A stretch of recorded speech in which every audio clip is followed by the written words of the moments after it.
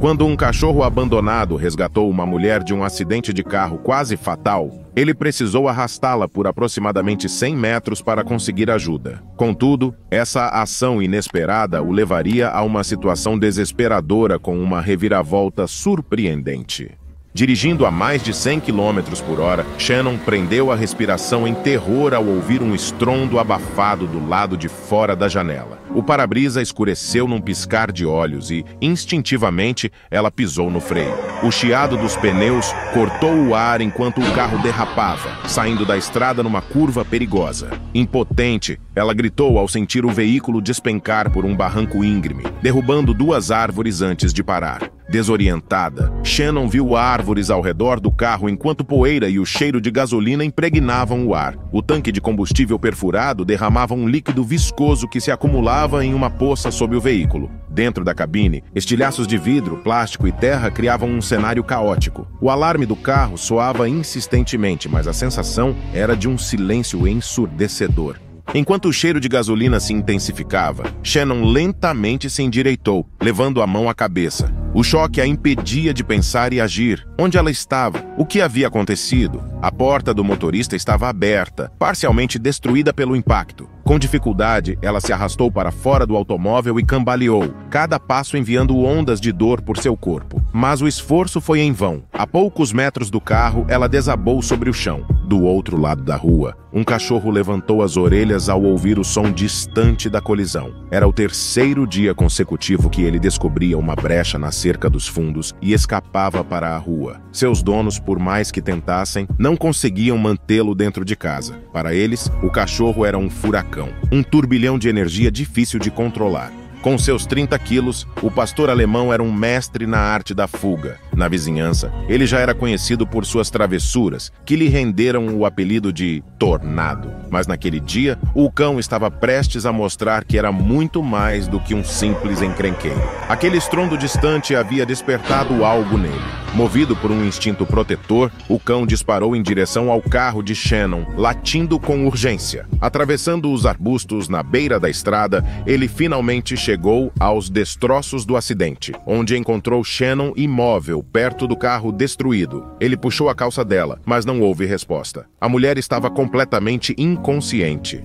Num ato desesperado, o cachorro agarrou a gola da camisa de Shannon e puxou com cuidado para não machucá-la ainda mais. Ele a arrastava lentamente, tentando tirá-la de perto do carro que parecia um túmulo de metal retorcido sob o sol do meio-dia. Com a mandíbula firme, o cão arrastava Shannon, metro a metro, em direção à rota principal, onde a chance de serem vistos aumentava a cada passo. Shannon oscilava entre a consciência e a inconsciência, percebendo que estava sendo arrastada, mas as sensações não faziam sentido. Seu primeiro pensamento foi de total confusão, sentindo-se abandonada longe do carro em que estivera antes de desmaiar. Nesse momento, o medo começou a tomar conta dela. Havia uma presença ao seu lado, puxando-a para longe daquilo que conhecia, mas quem poderia ser e por que estava fazendo aquilo? As perguntas sem resposta ecoavam em sua mente confusa, amplificando o terror que ameaçava dominá-la.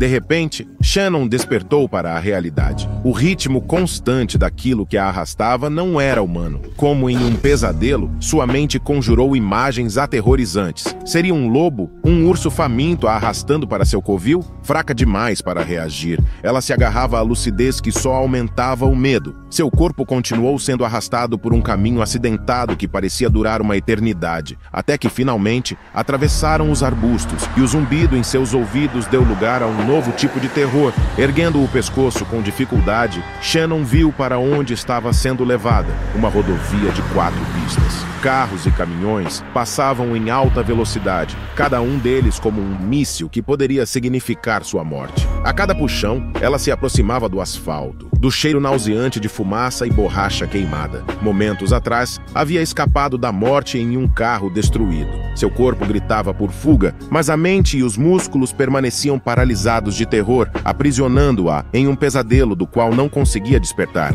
O cachorro, movido por uma determinação incansável, já havia arrastado Shannon por quase 100 metros. Se não estivesse tão focado em sua missão, estaria exausto. Shannon, tentando em vão gritar por socorro, sentia a vida retornar aos seus membros. Primeiro veio uma sensação de formigamento, como havia sentido antes com os arbustos, mas logo depois ela conseguiu mover os braços. Ela se virou de barriga para baixo e viu os grandes olhos negros do cachorro. Cravando os pés no chão, Shannon fez os dois pararem. Percebendo que Shannon estava se mexendo, o cachorro sentou e latiu, como se estivesse tentando decidir o que fazer a seguir. A rodovia estava a menos de 15 metros de distância. Eles estavam tão perto que os caminhões que passavam jogavam o pelo do cachorro para cima. Mesmo em uma área perigosa, perto de uma rodovia movimentada, o cachorro permanecia calmo, com os olhos fixos em Shannon. Ela, por outro lado, estava cada vez mais em pânico. Com todas as suas forças, Shannon levantou o braço e apoiou-se no cachorro.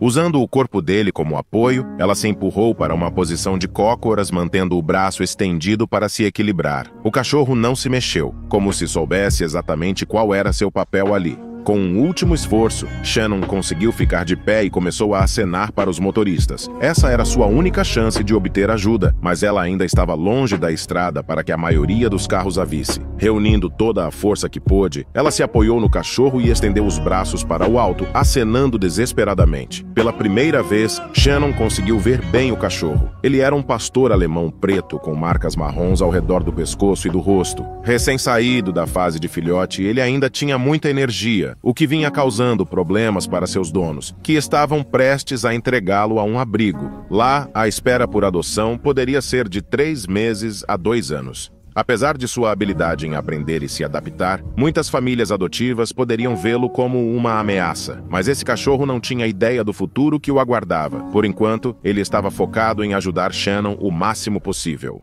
Ela acenou para os carros por alguns minutos, até que finalmente o som alto dos freios de um caminhão se fez ouvir à distância. O caminhão parou e um homem saiu rapidamente e correu até Shannon, perguntando se ela estava bem. Mal conseguindo falar, ela desmaiou, usando sua última reserva de energia para chamar a atenção do homem, que chegou a tempo de impedi-la de cair no chão. A próxima coisa que Shannon percebeu foi que estava acordando em uma maca. Olhando ao redor, ela viu luzes piscando e dois paramédicos ao seu lado, levando-a para uma ambulância. Tudo o que conseguiu dizer foram três palavras. Onde ele está? Ela perguntou ao paramédico ao seu lado direito. De quem você está falando? Ele perguntou achando que havia outra pessoa no veículo com ela. Mas tudo o que Shannon fez foi balançar a cabeça. Essas foram suas últimas palavras antes de ser colocada na ambulância. Metade da rodovia foi fechada e várias testemunhas pararam para falar com a polícia enquanto Shannon era levada ao hospital. Os paramédicos procuraram sinais de um passageiro masculino, mas não encontraram ninguém.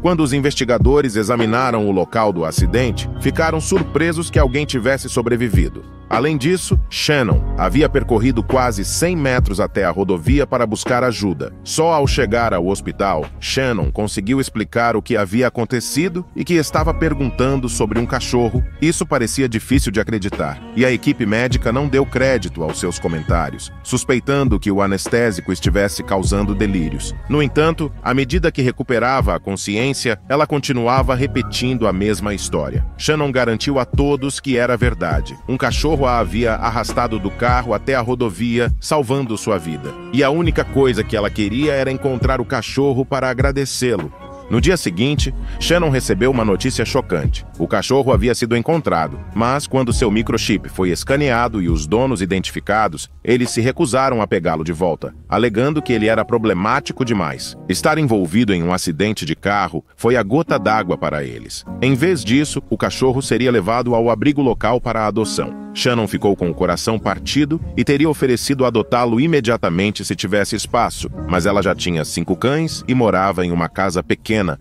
Isso tornou o incidente ainda mais comovente, pois Shannon sempre foi cercada por cães e sabia melhor do que ninguém que aquele cachorro merecia um lar seguro e saudável. Decidida a ajudar, ela resolveu tomar uma atitude. Após se recuperar, Shannon visitou a Sociedade Humanitária do Condado de Thomasville, onde o cachorro estava sendo mantido. Ao chegar, o cachorro se animou imediatamente, como se reencontrasse um velho amigo. Shannon recebeu permissão para levá-lo à área externa e brincar com ele. No entanto, a situação era desesperadora, e aquela visita era apenas uma breve esperança em meio à incerteza. Com um nó na garganta, ela perguntou: quanto tempo levará para ele encontrar um novo lar? Os voluntários enrugaram o rosto, sabendo que as chances eram mínimas. Aos dois anos de idade, o cachorro já era grande demais para a maioria dos adotantes, o que praticamente descartava qualquer família. Ser um pastor alemão não ajudava. Se ao menos as pessoas pudessem ver além da raça e enxergar o cachorro pelo que ele realmente era.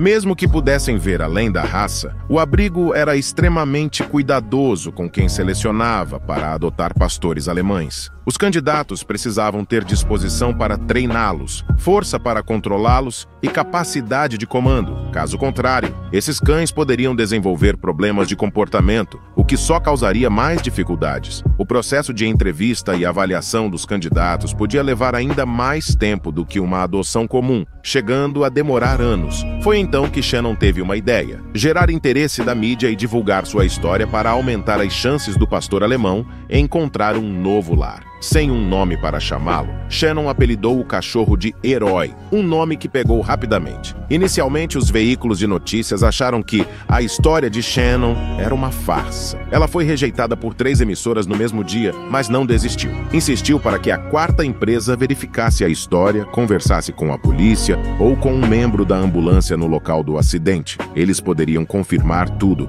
sem esperar muito, eles concordaram em colocar um repórter no caso. E após algumas investigações, todos os detalhes se confirmaram. A polícia falou oficialmente sobre a gravidade do acidente e os paramédicos confirmaram a história. O repórter conseguiu até encontrar o motorista do caminhão que, apesar de não querer ser identificado, jurou que viu Shannon se apoiando no cachorro para se levantar. Ele estava dirigindo há 10 anos e já havia visto de tudo na estrada, mas nunca tinha visto aquilo antes. Foi por isso que ele parou. A matéria incluiu uma entrevista com Shannon, que foi ao ar na TV local e publicada no jornal. Logo, sua história se espalhou nacionalmente sendo transmitida em grandes emissoras e publicada em veículos de mídia de todo o país. Em pouco tempo, o abrigo foi inundado com pedidos de adoção. Era avassalador. As pessoas ligavam o dia todo perguntando se Herói ainda estava disponível. Quando o telefone estava ocupado, e-mails se acumulavam na caixa de entrada. Em determinado momento, uma pequena multidão se formou do lado de fora do abrigo. Herói se tornou uma espécie de celebridade, com uma longa lista de espera para adoção. Ele recebeu muitas visitas, mas isso ainda não resolvia o problema de encontrar um novo lar rapidamente. Na verdade, as dezenas de candidaturas significavam que os voluntários tinham ainda mais informações para analisar, potencialmente prolongando o processo. Shannon fez o seu melhor ao divulgar a história de seu resgate, mas, infelizmente, isso não ajudou muito. O abrigo estava fazendo o possível, mas com poucos funcionários e sobrecarregados, não havia garantias. Quando a situação parecia sem esperança, o abrigo recebeu uma ligação muito especial. Um homem perguntou se Herói estaria disponível para uma inspeção e não aceitaria um não como resposta. A ligação vinha do governo, com um título oficial e um departamento em um escritório do outro lado da cidade. Uma equipe vinha acompanhando a história de Herói de perto e estava procurando por um conjunto específico de características. A maioria da equipe estava convencida de que esse cachorro tinha o que era necessário. Do lado de fora do abrigo, uma mulher realizou vários testes em herói. Os voluntários não sabiam exatamente o que ela estava procurando,